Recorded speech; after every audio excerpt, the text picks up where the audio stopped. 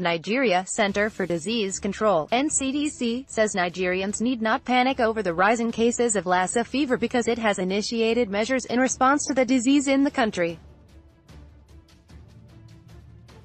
The advice was expressed in a statement on Wednesday by the Chief Executive Officer, NCDC, Dr. Chikwe Ihekweazu in Abuja.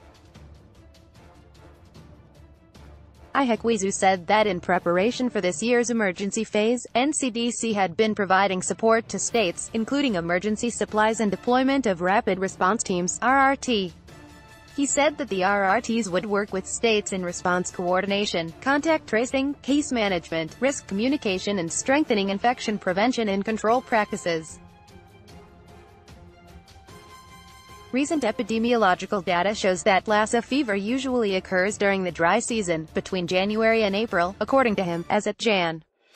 13, about 60 confirmed cases were reported in eight states.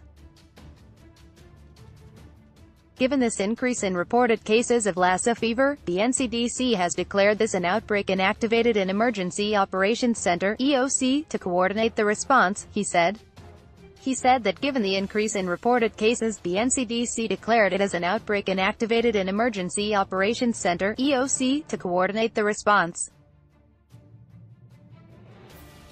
Ihekweazu, therefore, advised members of the public to focus on prevention by practicing good personal hygiene and proper environmental sanitation. Take effective measures by storing grain and other foodstuffs in rodent-proof containers, disposing of garbage far from the home, maintaining clean households, and other measures to discourage rodents from entering homes.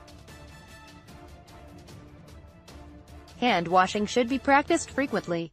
The public is also advised to avoid bush burning. Healthcare workers are again reminded that Lassa fever presents initially like any other disease causing febrile illness such as malaria.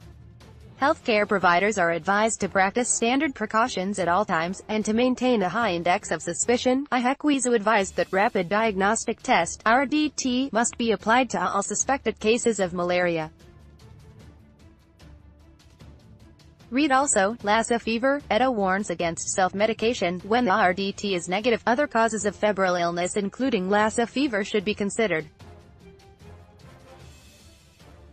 Accurate diagnosis and prompt treatment increases the chances of survival.